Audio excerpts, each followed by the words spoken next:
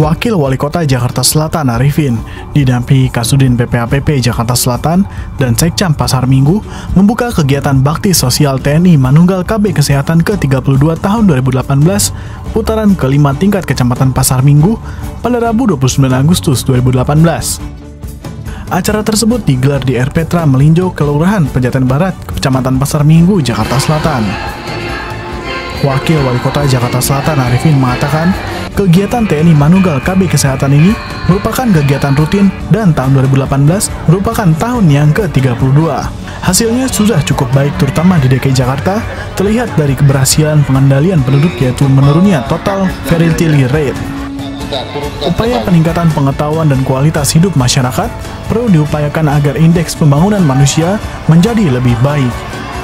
Kegiatan TNI Manunggal KB Kesehatan adalah bagian dari kegiatan yang mempunyai kontribusi terhadap pembangunan kependudukan, yaitu melalui pelayanan KB dan kesehatan, serta sosialisasi pendewasaan usia perkawinan. Kesehatan TNI Manunggal KB Kesehatan yang ke-32 ya di tingkat Kecamatan Pasar Minggu. Banyak pelayanan-pelayanan dasar kesehatan yang diberikan buat warga baik itu pelayanan untuk KB ya kemudian juga pelayanan uh, kesehatan umumnya. Tadi saya udah lihat-lihat tuh ya banyak juga warga yang mendaftarkan dirinya untuk pemasangan alat-alat kontrasepsi ya.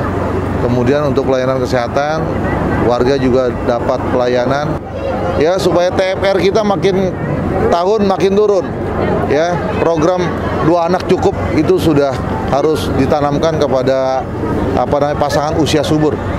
Dan kedua, jangan ada pernikahan usia dini.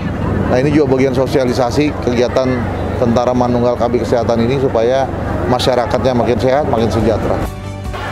Tim Liputan Kominfo dan Statistik Jakarta Selatan melaporkan.